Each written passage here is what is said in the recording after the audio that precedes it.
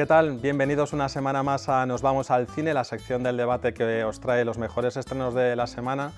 Eh, Cristina, la semana pasada te quedaste con la peli buena, con La Sociedad de la Nieve. Creo que esta te, voy a ganar. Bueno, veremos a ver. Pues vamos a intentarlo, vamos a defender eh, nuestra candidatura con Maestro, eh, la cinta sobre la vida del compositor estadounidense Leonard Bernstein y de, su esposa, que aquí interpreta Carrie Mulligan. Es una película dirigida por Bradley Cooper, con él mismo como actor. De hecho, está nominado a los Globos de Oro, tanto en la categoría de Mejor Dirección como la de Mejor Actor de, de Drama. Y aunque se estrene en Netflix primero, eh, bueno, puede ser una buena opción para disfrutar del cine de una de las películas que va a estar nominada seguramente en la próxima edición de, los Oscars. Bueno, permíteme que siga con una película que sí se estrena en los cines, porque la tuya es solo para Netflix y es El color púrpura, 40 años después de la primera película que pudimos ver rodada por Steven Spielberg, vuelve eh, la misma historia pues, de la mujer afroamericana que intenta superar todas las dificultades que se va encontrando a principios del siglo XX.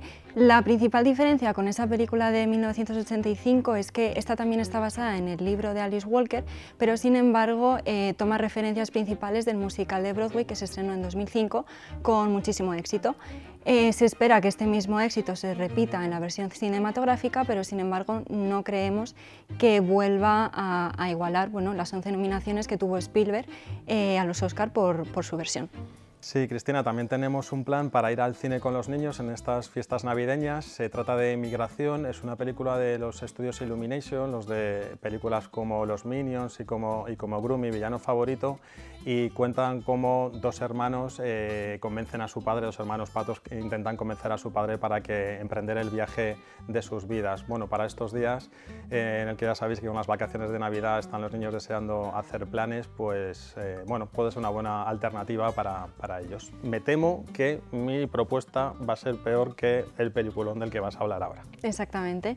Pasamos ahora a una de las mejores películas europeas, según la crítica, eh, y se llama Falling Lips, de Aki Kaurismäki, en el que el director pues, se inmiscuye de nuevo en la comedia romántica, pero de la forma más experimental posible, eh, en un largometraje que dura apenas 80 minutos, que está compuesto básicamente por unos escenarios bastante simples y unos personajes muy solitarios cuyos protagonistas son eh, una cajera de supermercado y un alcohólico que se encuentran en la noche de Helsinki y, se enamoran. Aquí Kaurismäki se ha convertido en uno de los eh, directores más aclamados del cine europeo por su versión intimista de las distintas tramas que suele tratar y sobre todo por ahondar sobre todo en aquellas eh, o aquellos estratos de la sociedad más desfavorecidos. Pues me has ganado otra vez, yo creo, ¿no? Evidentemente. Claro, te coges la mejor del cine español del año y la mejor película europea también del año. Eso es. Tenemos que recordar que estas películas no solo se estrenan esta semana, sino que hay algunas que también podremos ver la semana que viene.